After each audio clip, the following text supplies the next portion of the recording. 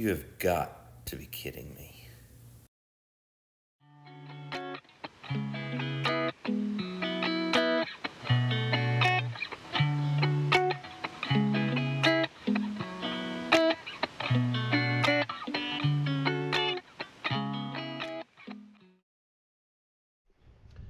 Right, everybody. Well, you can see that we spent most of the day yesterday uh, cleaning up the garage, getting everything organized. But what we found was that we have a little visitor in here.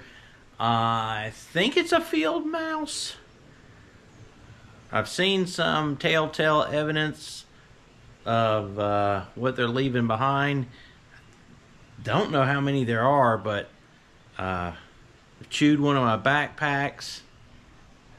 They have chewed like a rubber ball. They've, I can see where they've been running around. Uh, I think they're back in this pile here that we haven't gotten to yet, but we will get to that uh, in just, I don't know, a day or two. But uh, yeah, so I don't think it'll be, be a big deal. Um, I think if I can get it, I, I haven't had the garage doors sealed properly on the bottom, so I think that's how that they're getting in.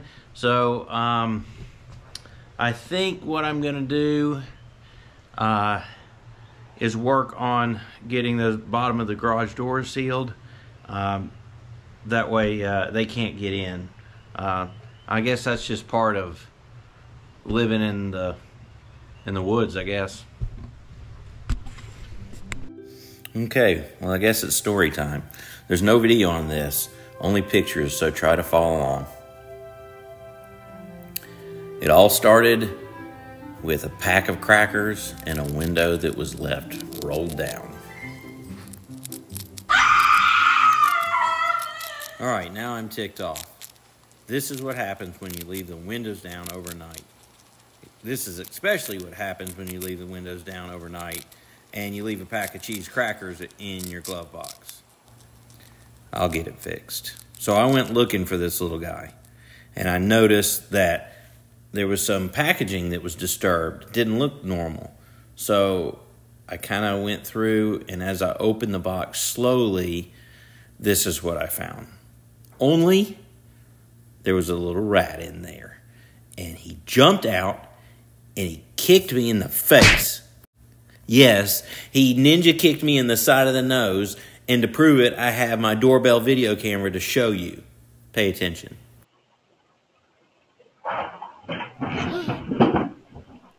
Let me slow it down and zoom in a little bit.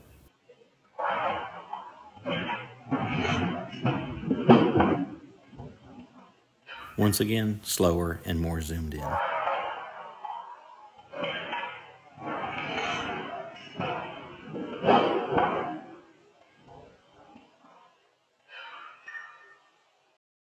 Yeah, that was me doing a somersault after that rat jumped on my chest and kicked me in the side of the nose.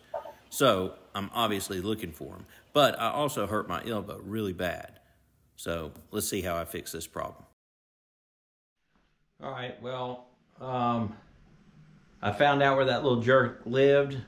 Um, he definitely isn't a field mouse. He's a rat, and I didn't see any more, but um, I did get judo kicked in the face by this rat, and I think he's actually Mighty Mouse because he did kick me on the side of the nose. He actually ran up my chest, kicked me in the side of the nose, and sprung off and ran out the door. So I think he's gone, but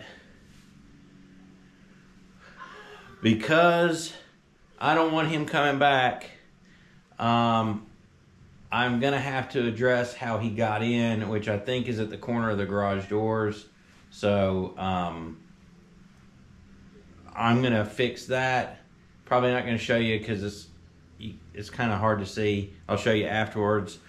Uh, but another thing uh, that I am doing, uh, and I did, was I overnighted a product uh, from Seattle. It's called Mighty Mint Rodent Repellent, and uh, all natural. Uh, looks like it's just like peppermint oil and water, a little bit of glycerin, but it smells awesome. Like I love it because it's like it smells like Christmas in my garage everywhere, and I've been spraying the heck out of it. So I even sprayed the outside, which it probably won't last, but it made me feel good to do so.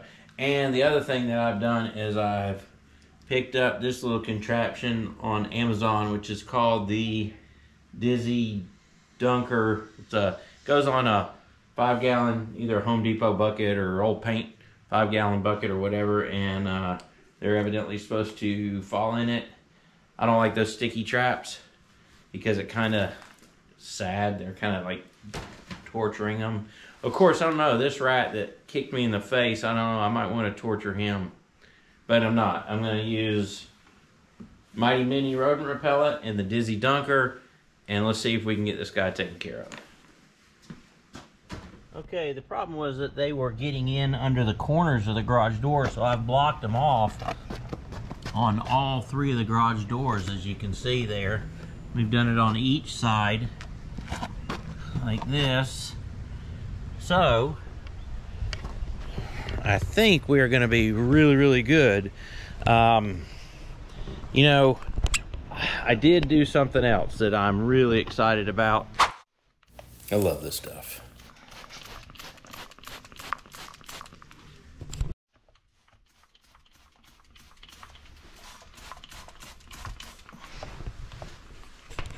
All right, you guys saw what it did to Jana's car. I really hate this rat.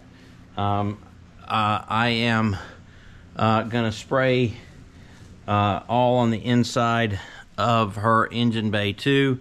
I, I found evidence of him running around on the inside of her engine and kind of chewing on some little foam pieces in here.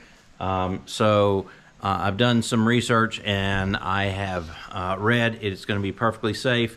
I'm not going to spray the electrical components, um, but we're just going to try to keep them out of here. Uh, this car didn't get driven a whole bunch, so um, you know he probably came in over the colder months and jumped in there because he was warm after uh, driving it. So um, anyway, I'm going to get busy spraying this.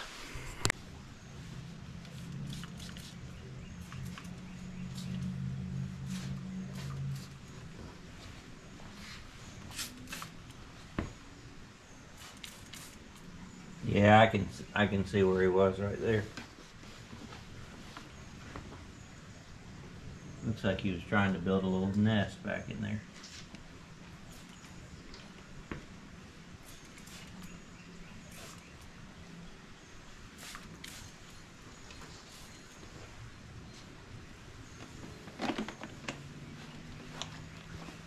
At least it smells good.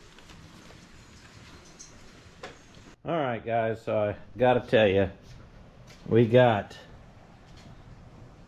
the car back as good as new, and Jana got a padded center console.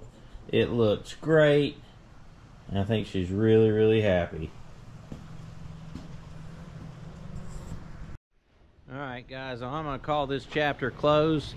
Uh, we have not seen that little guy anywhere around here.